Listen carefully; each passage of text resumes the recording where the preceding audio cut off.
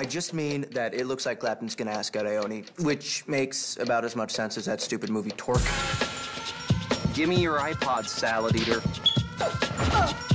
Life sucks. Forget about genocide, poverty, and political corruption. What could possibly be on my girl mind other than prom?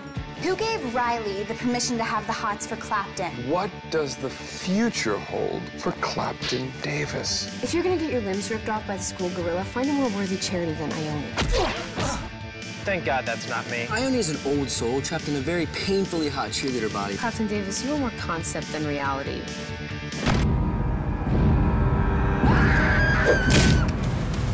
Your classmate, Taylor Fisher, was murdered in her bedroom this morning. I was just attacked. Sure you were, honey.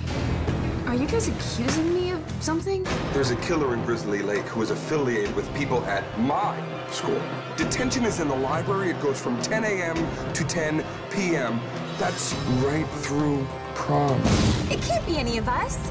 We're not anguished enough. Our generation has had no major struggles. What about 9/11? Afghanistan. Trina? Heath Ledger.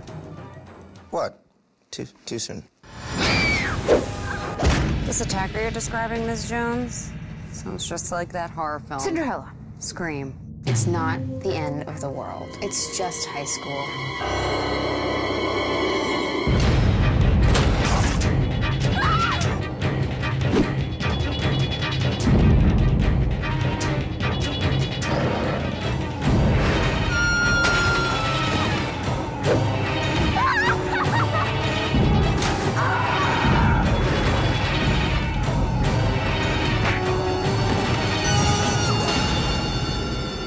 Who taught you how to make a snuff porno? Lady Gaga?